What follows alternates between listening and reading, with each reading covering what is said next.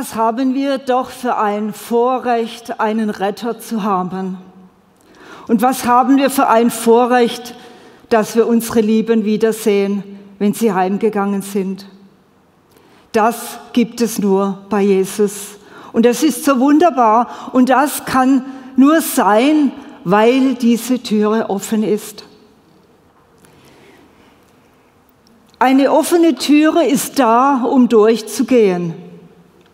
Nicht, dass sie offen steht, dass es zieht und man muss sie zumachen. Die Türe ist offen, dass wir durchgehen können.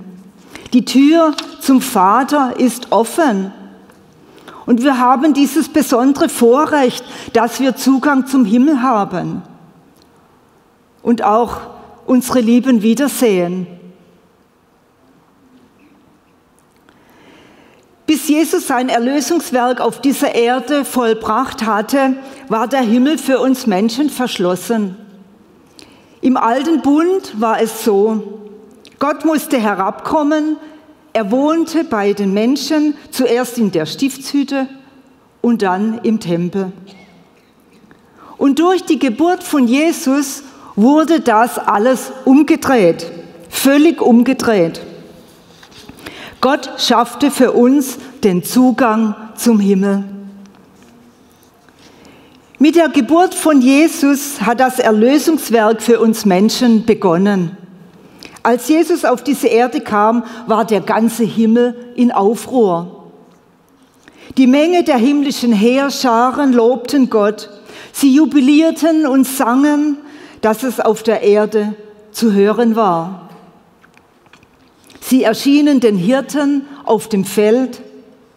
Sie freuten sich, dass der Sohn Gottes den Himmel verlassen hat und es wirklich getan hat, um auf diese Erde zu kommen. Jesus öffnete die Tür zum Himmel, als er auf diese Erde kam.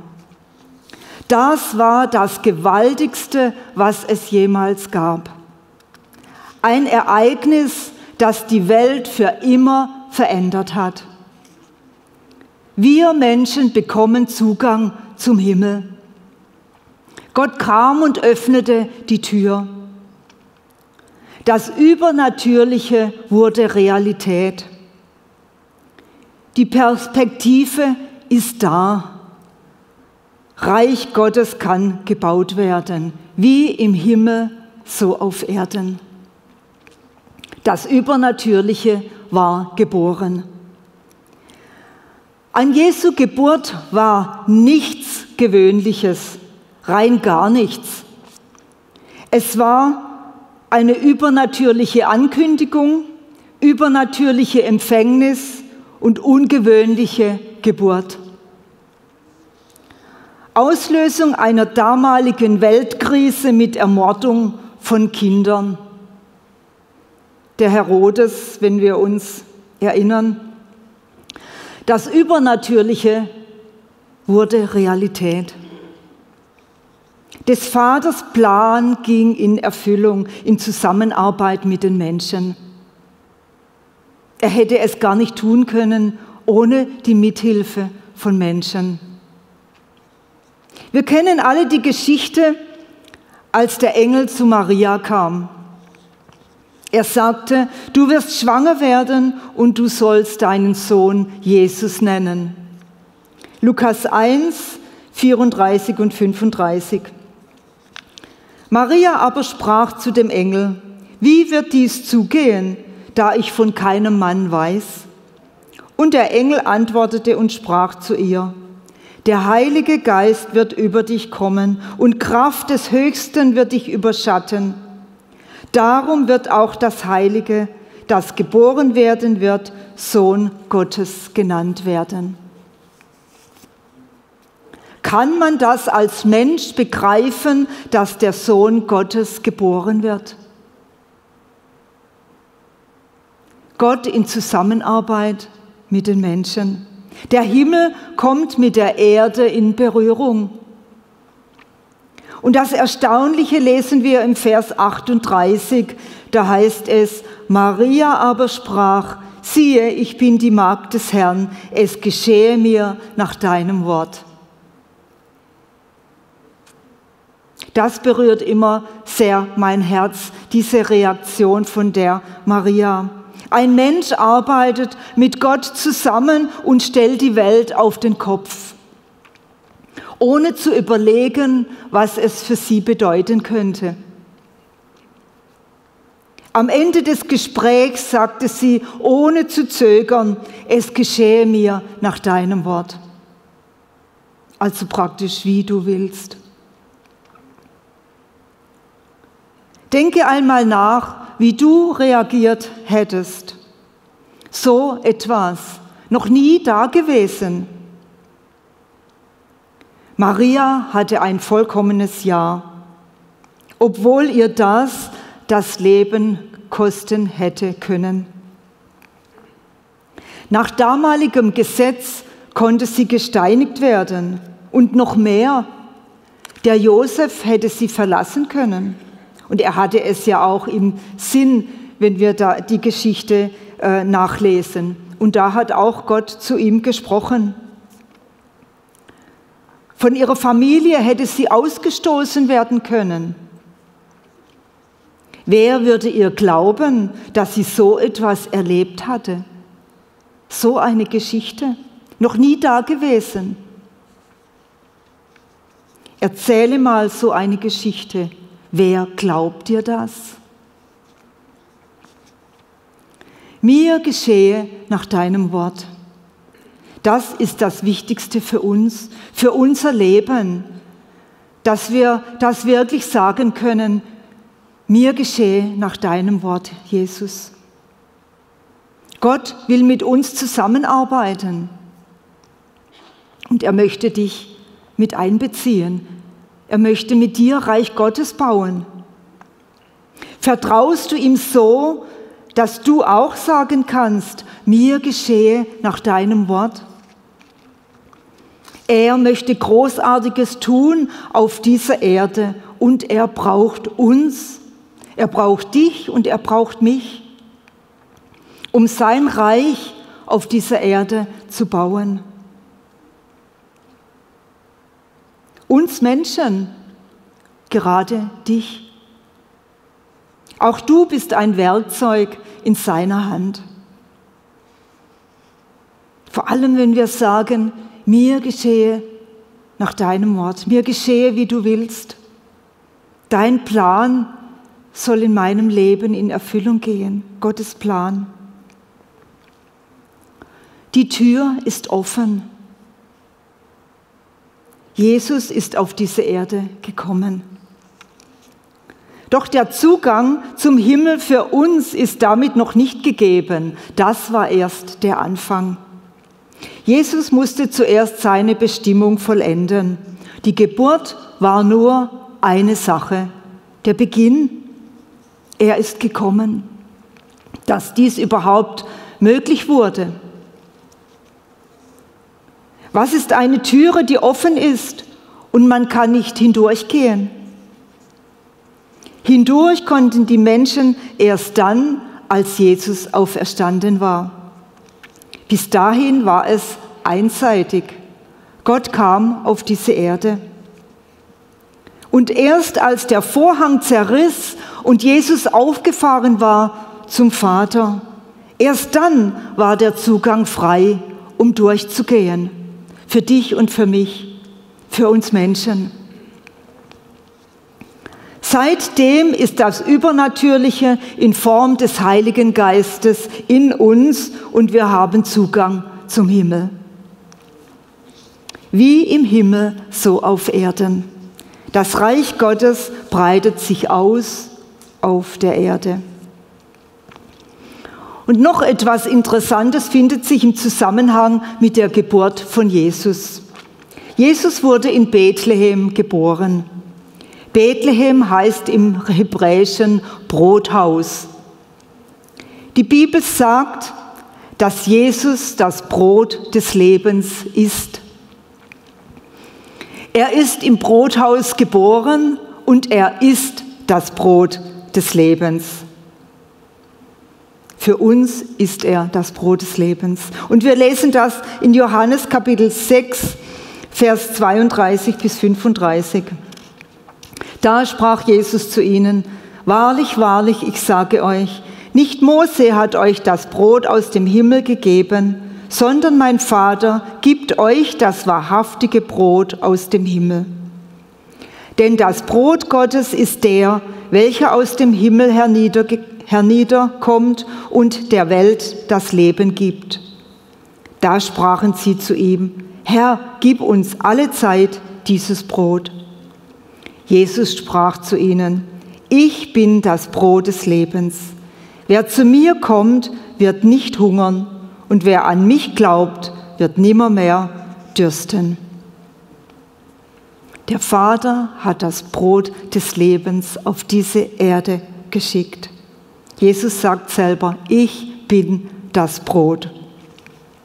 Er sagt, denn das Brot Gottes ist der, welcher vom Himmel kommt. Und er ist gekommen für uns. Er kam und hat die Türe geöffnet, damit wir Zugang zu diesem Brot des Lebens haben. Ein Brothaus ist das, wo wir unsere Nahrung herbekommen, unsere geistliche Nahrung hier. Da, wo wir gesättigt werden mit allem, was wir brauchen. Es gibt in der Bibel eine interessante Geschichte, die uns die Bedeutung des Brothauses noch verdeutlicht. Ruth Kapitel 1, Vers 1 und 2.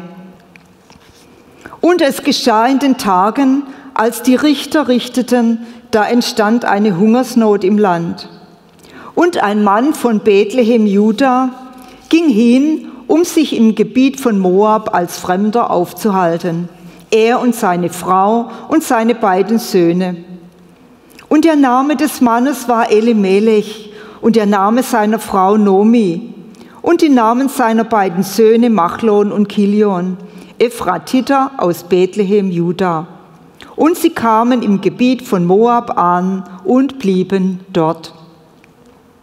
Das ist die Geschichte einer Familie, die auszog von Bethlehem in das fremde Land mit Namen Moab. Anscheinend hat es ihnen in Moab gefallen, weil es heißt, sie kamen dort an und blieben dort. Wenn wir unsere Geschichte betrachten, sehen wir eine Familie, die im Brothaus wohnte. Sie waren eigentlich am richtigen Platz. Wir lesen aber, dass in diesem Brothaus, in diesem Land eine Hungersnot entstand. Wie kann so etwas sein? Eine Hungersnot im Brothaus. Wenn wir keine Nahrung mehr aufnehmen, entsteht in unserem Leben Hungersnot. Und viele Menschen leben in geistlicher Hungersnot. Sie nehmen das Brot des Lebens nicht mehr auf. Das Brot, das vom Himmel kommt, so wie wir es gelesen haben. Die Türe ist offen, doch die Menschen gehen nicht hindurch und holen sich das Brot des Lebens. Sie beten nicht mehr, sie hören Gott nicht mehr, sie lesen nicht mehr in der Bibel und der Gottesdienst ist für sie langweilig, interessiert sie nicht mehr. Sie sind entmutigt und müde. Das ist geistliche Hungersnot. Und das ist eine schlimme Situation. Da hat man keine Perspektive mehr und man wird hoffnungslos. Wie sieht es in deinem Leben aus, wo du lebst? Ich meine dein geistliches Land, dein Brothaus. Hast auch du vielleicht dein Brothaus verlassen? Oder überlegst du, ob du es verlassen sollst, weil bei dir eine geistliche Hungersnot ist? In unserer Geschichte lesen wir, dass anscheinend alle anderen geblieben sind, nur die Familie des Elimelech ist ausgezogen. Sie hatten wahrscheinlich kein Vertrauen mehr, dass sich die Situation verändern würde. Sie hörten vielleicht, dass es in Moab viel besser sei, Denkst du vielleicht auch, dass es woanders viel besser ist als da, wo Gott dich hingestellt hat? Hast auch du dein Vertrauen verloren, dass sich deine Situation verändert? Die Türe ist offen. Dort ist alles, was du zu deiner Lösung deiner Probleme brauchst. Totale Versorgung, Zugang zu allem. Das Übernatürliche wohnt in deinem Herzen und dadurch hast du Zugang zum Vater. Vertraue dem, der dir helfen kann. Sie gingen in ein fremdes Land und erwarteten dort Hilfe. Und in Vers 4 lesen wir, dass sie zehn Jahre dort lebten, in der Fremde. In Bethlehem hatten sie zwar nicht viel zu essen, doch ihre Familie war da, ihr Haus, ihr Besitz, alles war dort. Die Bibel sagt uns, wie es ihnen weiter erging, Vers 3 bis 5. Da starb Elimelech, der Mann Nomis, und sie blieb zurück mit ihren beiden Söhnen. Die nahmen sich moabitische Frauen. Der Name der einen war Orpa und der Name der anderen Ruth. Und sie wohnten dort etwa zehn Jahre. Da starben auch diese beiden, Machlon und Kilion, und die Frau blieb zurück, ohne ihre beiden Söhne und ohne ihren Mann. Aus der Sicht Nomis gesehen ging es ihr hier noch schlechter als in Bethlehem. Es hatte doch alles so wunderbar ausgesehen. Hier hatte sie zwar etwas zu essen, aber sie hatte alles verloren, was ihr lieb war, ihre ganze Familie. Sie hatte nichts mehr, alles war kaputt. Wenn wir unser Brothaus, das Wort Gottes, verlassen, befinden wir uns auf dem Territorium des Feindes. Und das Territorium des Feindes ist die Welt. Es lohnt sich nicht, das Brothaus zu verlassen.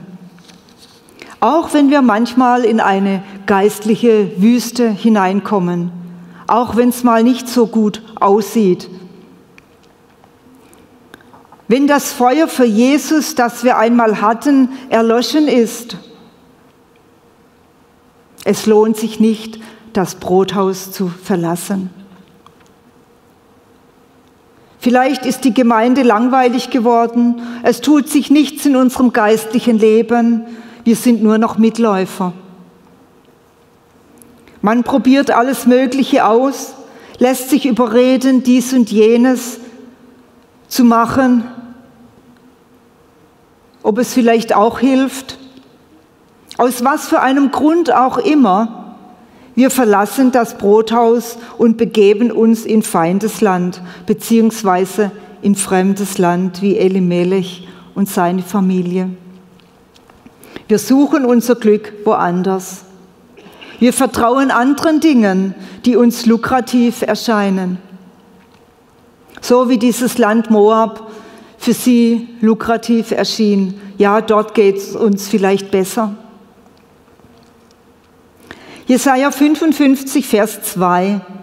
Warum wiegt ihr Geld ab für das, was kein Brot ist, und euren Verdienst für das, was nicht sättigt? Das heißt, warum geht ihr woanders hin? Warum vergeudet ihr eure Mittel und eure Zeit für Dinge, die euch nichts helfen? Warum setzt ihr Ressourcen ein für Dinge, die keinen Wert haben, die nichts bedeuten? Und weiter heißt es im Vers 2, Hört doch auf mich und esst das Gute, und eure Seele labe sich am Fetten. Neigt euer Ohr und kommt zu mir. Hört und eure Seele wird leben ist das Gute. Das Brot vom Himmel, Gottes Wort, das deine Seele sättigt und labt und sie nicht verhungern lässt. Deine Seele wird leben, so heißt es hier. Da ist die Fülle und da haben wir alles, was wir brauchen. Wir werden nie geistliche Hungersnot haben, wenn wir auf Jesus hören und unser Ohr zu ihm neigen. Es erstaunt mich immer wieder, wie Gott doch das Herz der Menschen kennt. Hast auch du Hilfe gesucht in fremdem Land?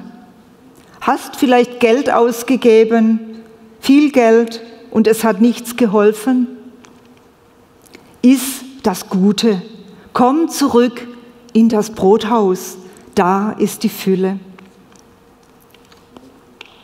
Nomi verlor alles. Nachdem sie nichts mehr hatte, besann sie sich, wo sie eigentlich herkam. Sie erinnerte sich, wie gut sie es hatte, als sie noch in Bethlehem wohnte, im Schutz der Familie. Besinne dich, wie gut du es hast bei Jesus im Brothaus.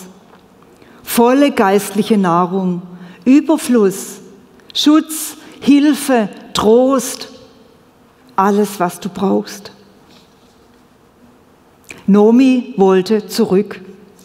Sie hat sich entschlossen, zurückzukehren in das Brothaus. Und sie nahm Ruth mit. Wir wissen das aus der Geschichte. Und wenn sie das nicht getan hätte, hätte sie nie Anteil gehabt an der Blutslinie von Jesus. Ruth ist im Stammbaum von Jesus. Der Sohn Ruths ist der Großvater von David. Und wir können das nachlesen in Matthäus Kapitel 1. Also Nomi wollte zurück. Wir lesen das in Ruth Kapitel 1, 19 bis 22. So gingen die beiden, bis sie nach Bethlehem kamen. Und es geschah, als sie in Bethlehem ankamen, da geriet die ganze Stadt ihretwegen in Bewegung. Und die Frauen sagten, ist das Nomi? Sie aber sagte zu ihnen, nennt mich nicht Nomi, nennt mich Mara. Denn der Allmächtige hat mir sehr bitteres Leid zugefügt. Voll bin ich gegangen und leer hat mich der Herr zurückkehren lassen. Warum nennt ihr mich Nomi? Da der Herr gegen mich ausgesagt und der Allmächtige mir Böses getan hat. So kehrte Nomi zurück und mit ihr die Moabiterin Ruth, ihre Schwiegertochter, die aus dem Gebiet von Moab heimgekehrt war. Sie kamen nach Bethlehem zu Beginn der Gerstenernte. Und dies ist das, der wichtigste Teil der ganzen Geschichte. Nomi ist umgekehrt. Sie hat erkannt, dass sie nicht richtig gehandelt hatte. Sie hatte das Brothaus verlassen. Sie sagt, voll bin ich gegangen und leer hat mich der Herr zurückkehren lassen. Ursprünglich hatte sie alles. Und weil sie fortgegangen war, hat sie alles verloren. Und was war das Erste, was sie sah? Es heißt hier, sie kamen zu Beginn der Gerstenernte. Das Erste, was sie sah, war Brot. Gerste, Nahrung. Ja, das wirklich Wichtigste in unserem Leben ist, umzukehren. Wenn wir das Brothaus Jesus verlassen haben erkennen, dass es falsch war und zurückkehren. Egal in welchem Land du dich gerade befindest, im Land des Okkultismus, im Land der Esoterik, im Land der Gleichgültigkeit oder im Land der Entmutigung, im Land der Hoffnungslosigkeit oder im Land der Verzweiflung. Kehre um. Komm zurück ins Brothaus. Die Türe ist offen. Komm und geh hindurch. Wenn wir zurückkehren, bietet Jesus uns Nahrung an, geistliche Nahrung. Und das ist Hilfe in jeder Beziehung. Da ist keine Hungersnot mehr, da ist Überfluss. Egal wie weit du weg bist von Jesus, kehre um. Wenn wir zu ihm zurückkehren, kommen wir mit leeren Händen wie Nomi. Doch sie bleiben nicht leer und das ist das Entscheidende. Unsere Hände werden gefüllt, unser Leben wird gefüllt. Nomi wurde wieder aufgenommen in die Gemeinschaft und sie freuten sich alle und sagten, ah, ist das Nomi? Und sie erhielt durch den Löser Boas alles zurück. Familie, Land und Besitz. Und dieser Boas ist ein Bild auf Jesus. Jesus gibt uns alles zurück, was wir verloren haben. Er hat alles für uns bereit, was wir brauchen. Die Tür ist offen. Schlecht geht es uns nur im fremden Land, weg von Gott, weg vom Brothaus, weg von Gottes Wort. Und Gott stellt alles wieder her, was in deinem Leben zerbrochen ist. Das, was der Feind kaputt gemacht hat. Lass dich nicht blenden. Bleib in deinem Brothaus, da wo deine Seele satt, gefüllt und getröstet wird. Die Tür ist offen für dich. Amen. Danke, Jesus, dass du uns eine offene Tür bereitet hast, dass du gekommen bist auf diese Erde, um das zu ermöglichen, dass die Tür offen ist, dass wir hindurchgehen können zum Vater, dass wir wirklich einen Zugang zum Himmel haben, wie im Himmel, so auf Erden. Und wir danken dir einfach für dieses wunderbare und große Vorrecht.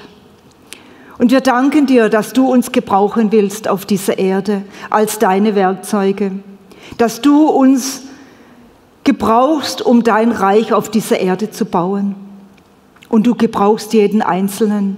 Du hast jedem Einzelnen Talente gegeben, Möglichkeiten gegeben.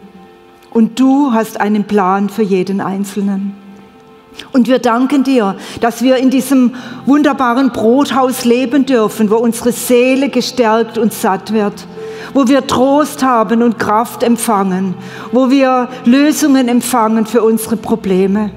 Danke, Jesus, dass diese Türe offen ist und dass wir da wirklich hindurchgehen dürfen und hindurchgehen können. Dass du der Herr bist, der uns alles gibt, was wir brauchen. Und wenn wir einmal davongelaufen sind, dürfen wir umkehren. Und du hast Vergebung für uns. Auch diese Türe ist offen für Vergebung, für wunderbare Vergebung. Und wir danken dir einfach für diese Möglichkeit, für das, was du für uns getan hast. Danke, Jesus, dass du gekommen bist auf diese Erde und diese Türe aufgestoßen hast diese Türe geöffnet hast. Amen.